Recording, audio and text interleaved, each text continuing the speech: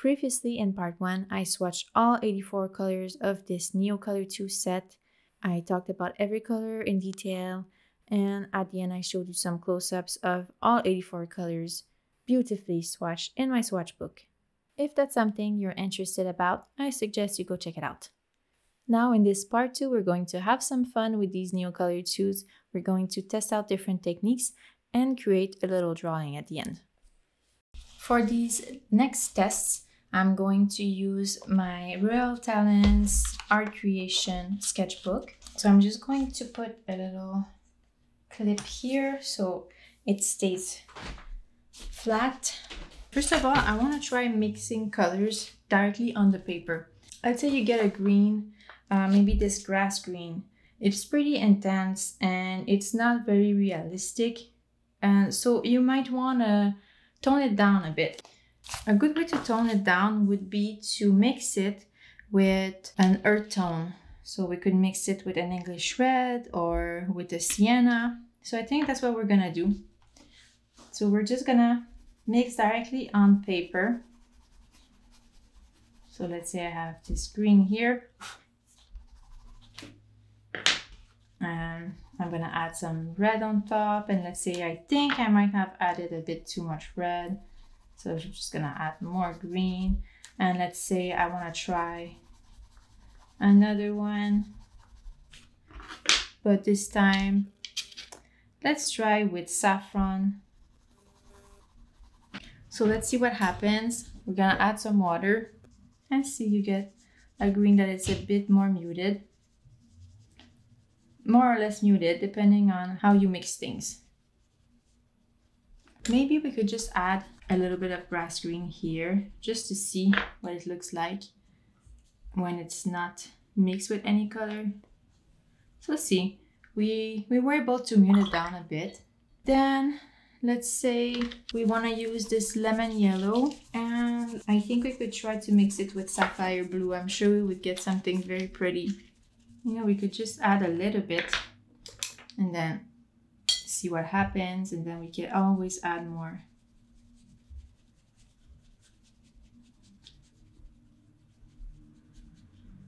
This is very cute. And then what I can do is I don't have to wait for it to get dry. I can just add more on top of the wet paint. I can leave it like this or I can add a bit more water. Just be careful because some paper might not want to take too much water. So I could blend it more or I could leave it like that. I like the texture that we see. But if I had waited for it to dry completely, then I'm pretty sure I could have gotten a result that would be a bit more uniform. But let's try to do the opposite. Okay, so I'm adding a bit of yellow. And we get a different kind of mix that is so pretty. This is what happens sometimes when you mix directly on the paper. You get a bit of color that transfers to the pastel. So if you don't like that, you can always get rid of it by drawing on another piece of paper. Let's mix that phthalo green with purple. And I'm going to do the same thing here, but with less purple. Let's start with this one. So we get this pretty interesting color. And then we have that one where I added a lot more purple. So pretty. This is a good way of transforming your colors. One other thing that I like to do as well is, let's say I want to draw a tree and I'm not planning on using very natural colors. So sometimes what I'm gonna do is I'm going to draw the general shape of the tree. Let's see. Let's see, that's what it is. I'm gonna draw some areas in one color. Then let's see this area as well.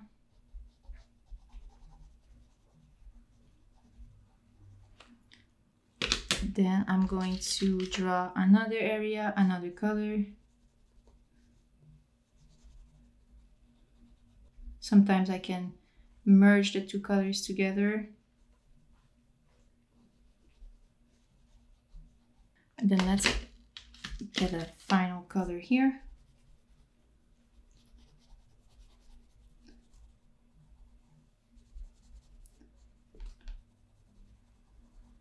We could add a bit of blue here. And then what I could do is I could add some white on top of the darkest color to make it a bit more lavender and make colors merge together a bit, create some interesting texture.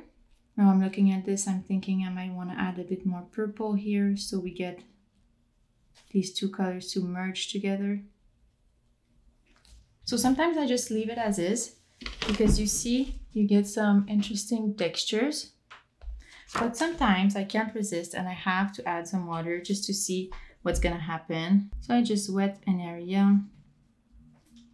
Maybe since the outline is a different color, I'm gonna try to make it disappear a bit.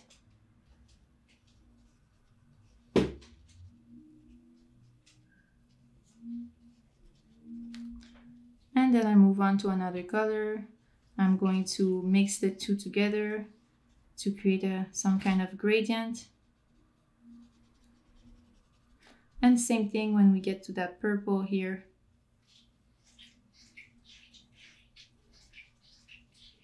Hello, he's so loud. You might hear my cat. Uh, he's grooming himself. He's so loud. and yeah so you you mix like that your colors.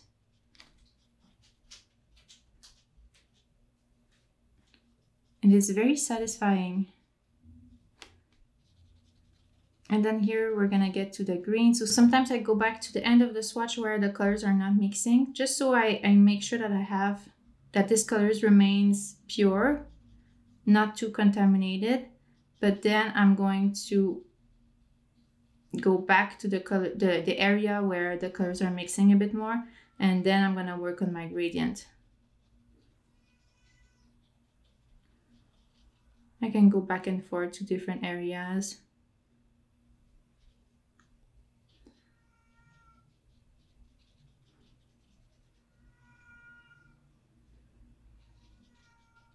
And see now I have created an interesting looking tree. Well, you don't have the trunk or the bark yet, but I have one area. So that, that's something that I can do. Another thing that I like to do, we're gonna need to use a sharp pencil. So here I have a Derwent watercolor pencil, but you can use any pencil. It just needs to be sharply um, sharpened. Let's say I wanna draw a bush. So I'm gonna do the same thing, same shape,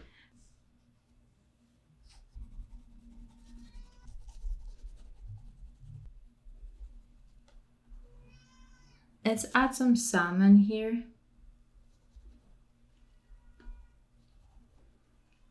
And then I can add maybe a bit more of this turquoise green on top of that salmon.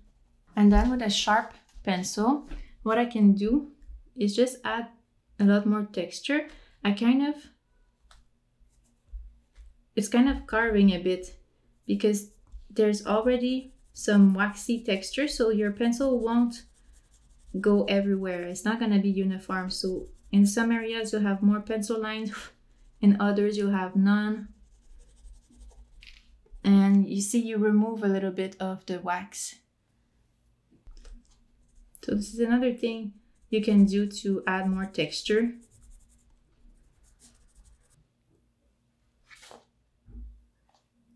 And then Let's say I wanted to add a background color, but something that is very pale. I could add, for example, some ochre, and I could just draw in a very pale way. Add some water. And you can almost, you can make the lines disappear pretty much and use this as a background color. Just have to be careful because you don't want to reactivate. Well, in this instance, I don't want to reactivate the bushes that I created earlier, so I, I'm gonna be a bit careful. I know if you add even more water, you can you can remove some color. You can kind of lift it. I can add a bit of tissue just to, you know, do something like this as well. And wait for it to dry. So here I finished this section. And here I only drew this little section here and I kind of dragged the color down. So this is always something you can do also. You don't have to draw the whole section that you want to put color on. If you want to put a lighter color, you could draw only a small section and then drag it down. Another way I can mix colors is a bit more of a fun way slash you don't know what you're gonna get. so here I put three colors. I put a fiery orange, I put a normal orange, I put a light yellow, and then I put some jade green on top. Now I'm just going to add some water So right now we're getting an orange and then I could add some color on top while it's wet and let's say draw some little branches in it. Let's say this is a bush. And just leave them as is. Very pretty. And this here is the color apricot. I added some water on top. Okay, now it's dry. So let's just draw on top. This is a blue sun, some texture. Here we go. Now you can draw with your watercolor pencil on top and you don't get that texture issue. It's not really an issue, but you you can draw on top without any problems.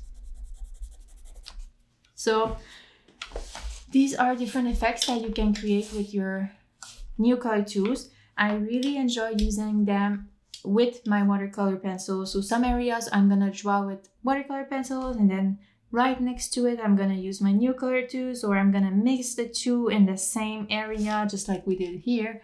So there's a lot of options. The downside with these Neocolor IIs is that they can transfer. Let's say I close this page and after a while this area here that I did not wet is still pretty greasy, you know? So it might transfer onto this page here. In this little spread, I don't really mind, but it can cause you some problems. So that's why in my sketchbook here, I put these little pieces of parchment paper in between my pages when I don't want transfer. So that's what I did. That's what you can do. Now we're gonna do a small drawing. I want to use my hot pressed Arches watercolor paper. Hot pressed because of the texture. I think that this is gonna go well with these, although I have used cold press as I said before, and it was okay as well. You just get a bit more texture. And as you can see, this area is dirty because I used some Neocolor IIs when I was doing a drawing and I had closed this and it transferred on the top here and now it means that this first page here has some areas where there's already a bit of color transfer. So I think when I'm done with this one, I'm gonna put a page to protect the papers from this top. So what I like to do often is doing the first sketch with my watercolor pencils because the sketch is gonna disappear when I add water. And I'm planning on doing a very simple drawing. It's a scene that I saw during one of my walks not too long ago. So I'm just sketching quickly.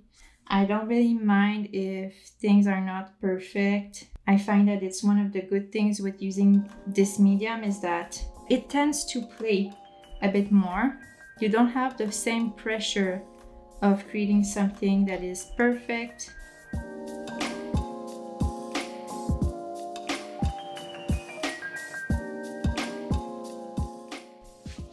So now I have my swatch book near me so I can choose my colors. I think that I want to start with the top part. So I want to start with the trees.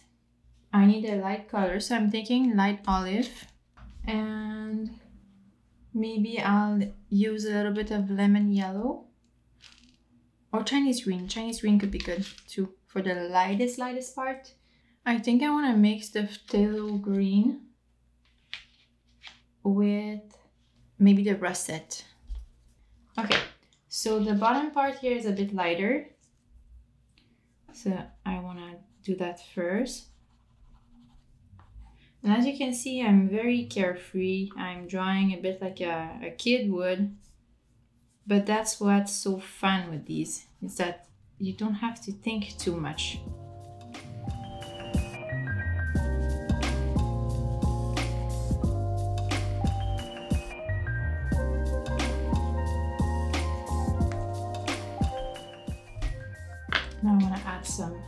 Brighter. Ooh. See, this one's broken.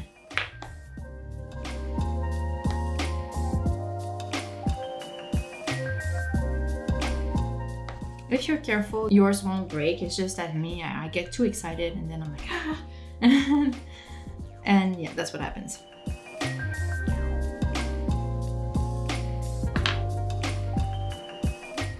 And see how I hold them too? I don't hold them like like this. Well, sometimes I do, but most times I just hold them in a bunch of different ways. So I see that there also are lighter areas up here. So I'm doing a little bit of scribbling. Maybe I could wet this part first. This time I don't want to make the texture disappear completely. So I'm gonna put some water, but I'm not gonna work the paint too much. I kind of want to have some areas too where you can almost see the white of the paper because that's the sky peeking through. And here I need to be a bit more careful because I used some watercolor pencils to do the sketch. Don't want this beautiful color to mix in my in my tree Sorry, it's hard to paint and talk at the same time, so I hope that it's still okay with you. Now let's have some fun with the phthalo green and the russet. So I want to focus on the areas where I know that the darkest parts are.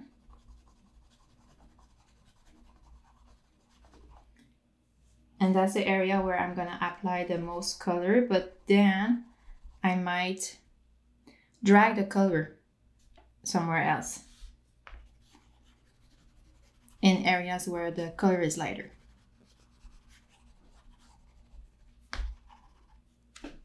It's still good if I put some of this light olive because it's still the same tree. It's just that some areas of the tree are a bit darker.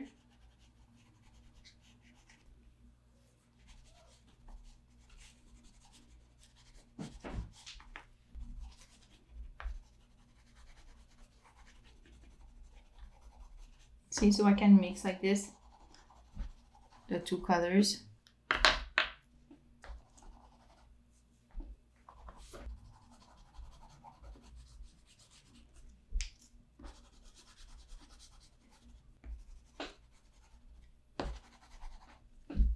Okay, and now let's add a bit of russet.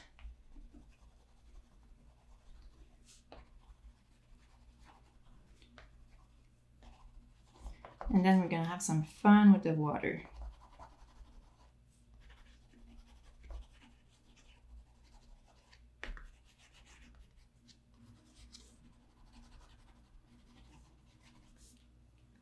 All right, let's add some water. And I'm trying to do some round brush strokes so it reminds us of the shapes of the leaves.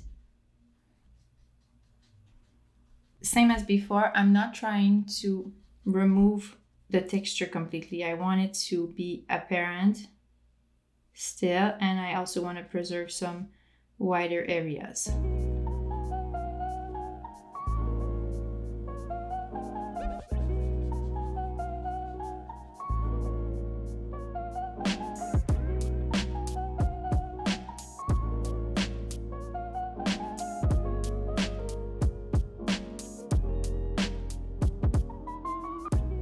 So see how the russet neutralizes the phthalo green? Otherwise, this phthalo color would have been very intense and very unnatural, which is not what we're looking for right now.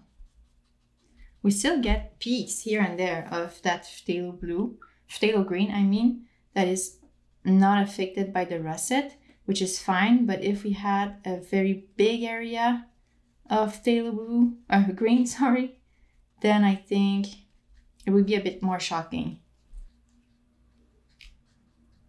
And you see, I'm working very fast. I don't always work like that, but these Neocolor II inspired me to be a bit more playful. So I tend to be looser when I work with them. So now I'm thinking that we need a bit more color down and see how I can pick up some color from higher above and then I just bring it down here. So I don't have to apply more color. I can just go pick it up.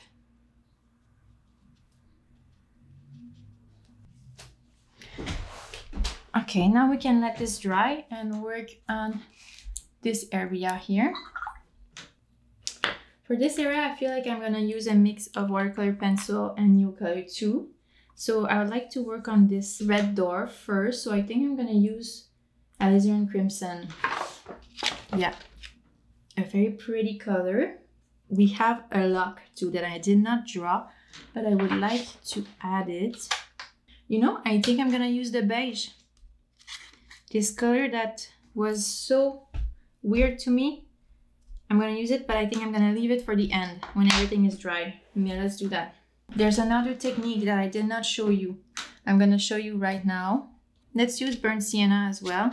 What you can do is wet your brush and just go grab the color directly on your Neocolor II. And then you can use it. Let's say here we wanna draw the darkest areas first. We can do that. Because sometimes the the Neocolor IIs are you know they're a bit chunkier so for details it can be harder to use. That's why i tend to use my watercolor pencils as well but you could do that. You could just use a small brush and work on your details this way.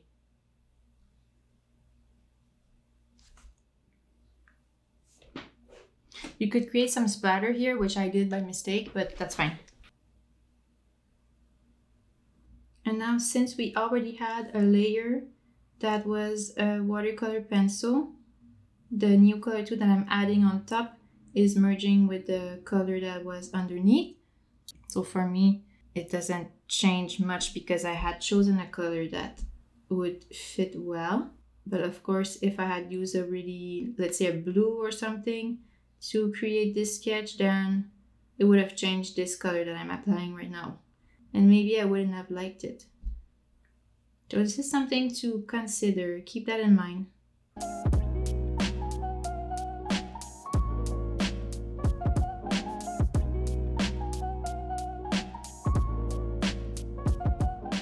and I can start adding some color to just like this. I want to kind of replicate the wood texture so let's do that.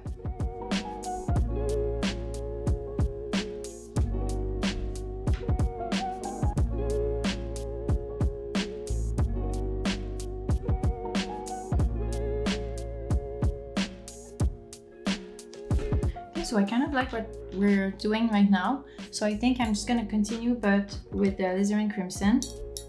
I could I could draw some areas just like this.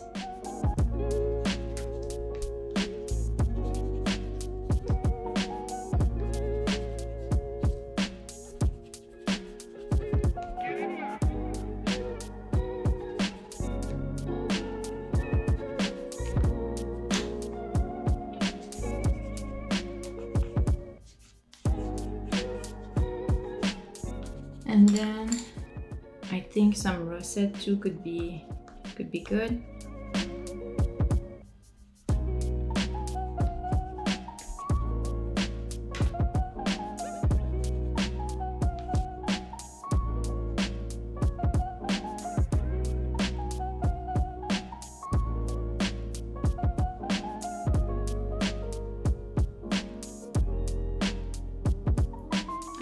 The texture that we're getting.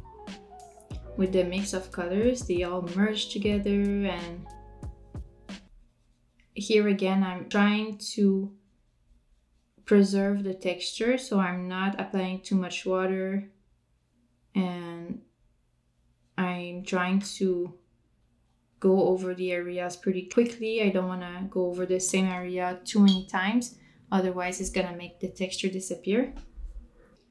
And the areas that we have wet before, we can reactivate them if we we go hard on them. So I'm trying not to reactivate them, but you see at the same time, you kind of have to work to reactivate them. So I wanted to establish where the darkest values would be first, and now they're not reactivating when I add the water.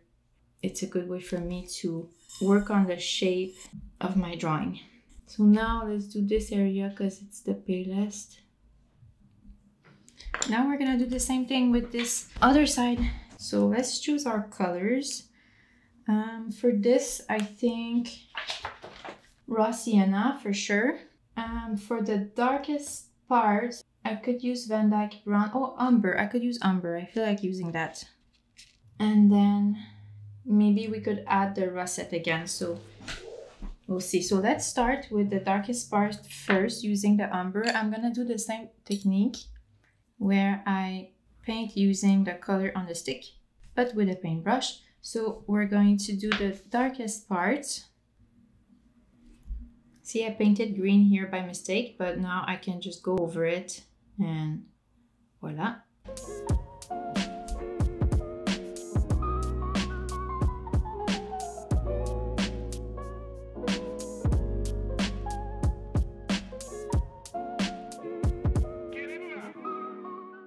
Okay, so now what I'm gonna do, I think, is I'm going to put a pale layer of this color in every area that's supposed to be kind of in the shade. Oh, and see, I forgot this was supposed to be green here. So I'm gonna add some green color. And I can also add a little bit, just like I did before, to create some lines in the wood.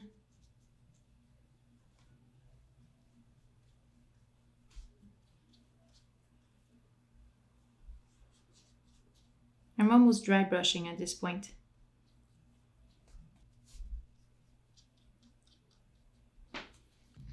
Okay, I just want to add a little bit of green.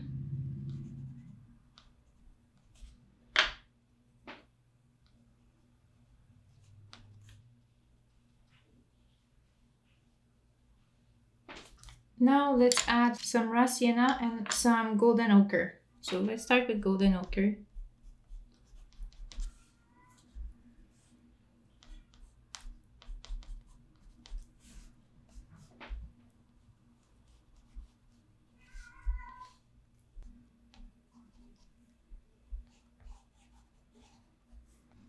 We're gonna add some raw sienna.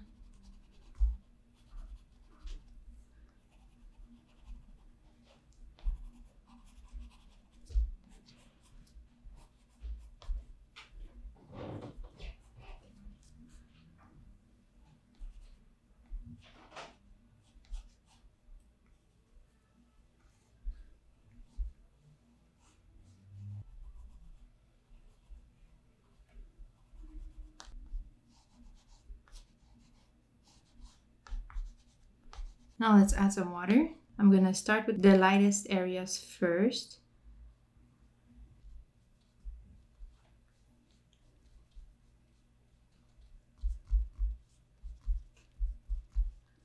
And then we can introduce some darker colors like so.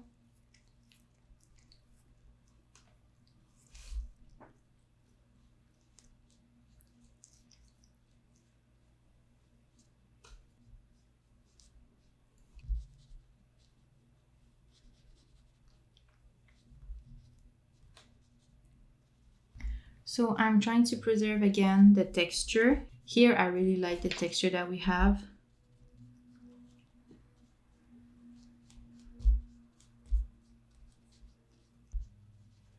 And now I'm going to go over the darkest areas that I added here just to blend them a bit with the rest. And I can also use that darker color somewhere else. I can pick some up here and add it to some areas as well.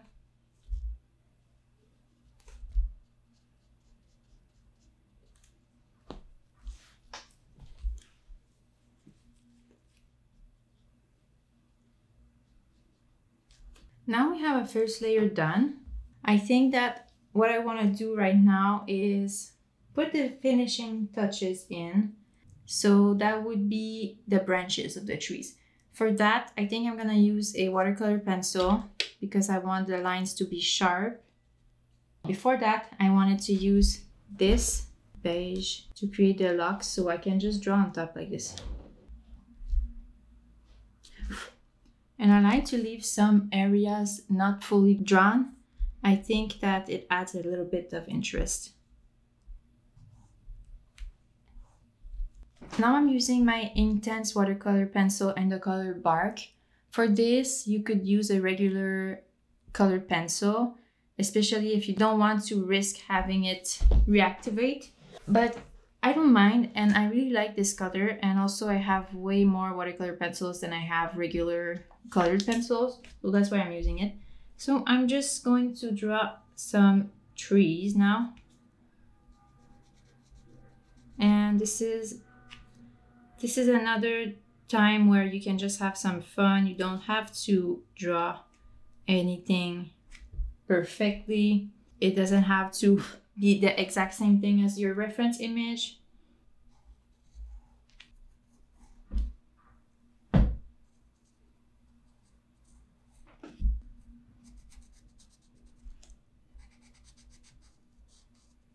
In this instance, there's areas where it's harder to draw on top of.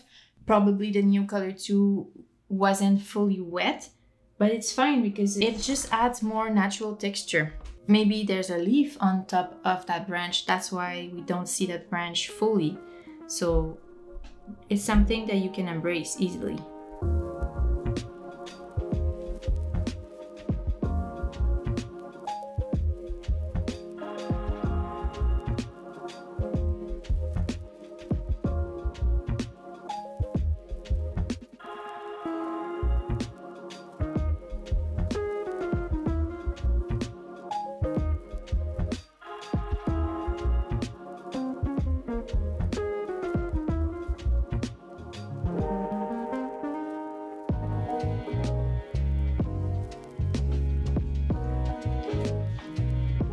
Okay, I think I like it like this.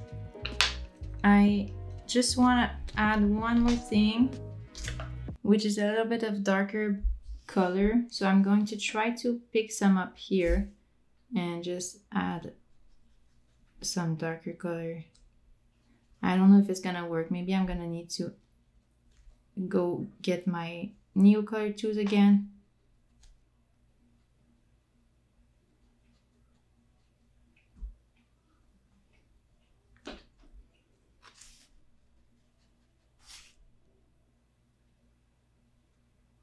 I think we're fine. Just want to add a bit more dimension to these things here.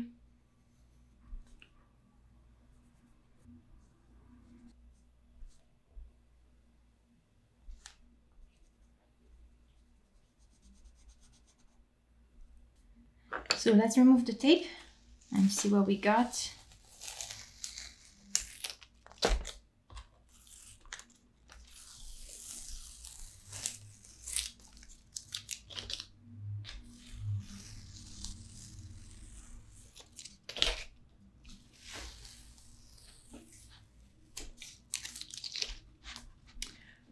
so cute.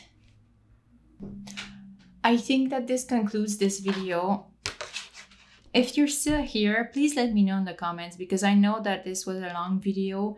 I think it was pretty thorough though, but if there's anything that you feel like I've missed, something you would like me to test, please let me know as well. But I have to say that I am truly in love with these Caran d'Ache Neocolor IIs. These are so fun to use. And this is the little drawing that we did. Isn't it cute? And what's fun is that you should see my reference picture. In fact, I'm gonna show you here. It's not that pretty. But what I like to do is when I walk around, I take some pictures of random stuff that I see during my walks. And you can turn an ugly picture into a nice reference picture, which is a good idea for a future video. Let's do that at some point soon. I think it would be really good because I remember when I started painting, I had a lot of trouble with reference pictures. I didn't know where to find my reference pictures. I thought that I didn't have anything to draw.